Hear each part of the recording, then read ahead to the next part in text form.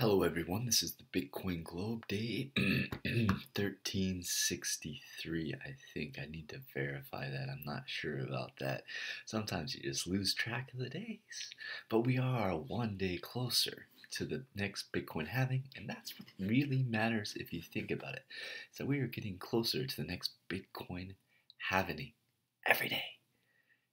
Countdown is right now. It's going on right now. We are living in the countdown to the next Bitcoin halving, and there will only be a few more Bitcoin halvings, maybe even only a couple more. I don't remember the specifics in the white paper. Speaking of the white paper, if you are a Bitcoin enthusiast and you haven't read the white paper, you're not a Bitcoin enthusiast. Let me just call you out right now.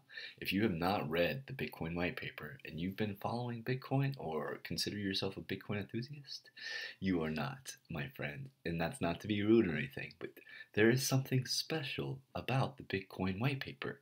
And for those that have actually read it and really like tried to sink into it, I think they'll understand that because there's really something special about the Bitcoin white paper. It's not even hard to read. I'm not like a genius or anything anything like that. Maybe I am. That would be sweet if I was a genius.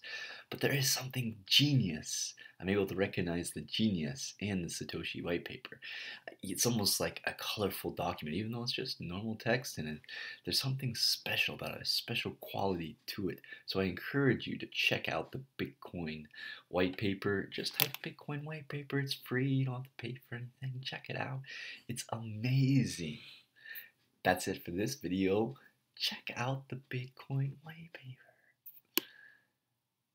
Actually, that's not it, because I did have another little something I wanted to rant about, and that's another reason why Bitcoin might succeed is the gambling. People like to gamble. I like to gamble. It makes things more exciting. However, I'm losing a bit too much lately, and I need to turn it down a notch because uh, when you are gambling, you're risking your bitcoins, and you should never risk your bitcoins on something you don't believe in. So if you really believe that you're gonna get 21 in blackjack, you really believe that, then okay, then go ahead and gamble. If you really believe in your skills in like esports or something like that, or if you're gambling on yourself, that's a little bit different too. But when you're just straight up gambling, yeah, you don't want to do it. You don't want to risk your bitcoins. And this is more of a note to myself because I love watching UFC and I love betting on the UFC. I, I need to do more research because when I do do research, I do a lot better, of course. And in fact, uh, ever since I stopped researching, just making impulsive picks, I haven't been doing so well. So that makes sense, and that, of course, that makes sense. Uh, so when you're when you're gambling, don't do it with your Bitcoin. Do it with your USD or something like that. All right, that's it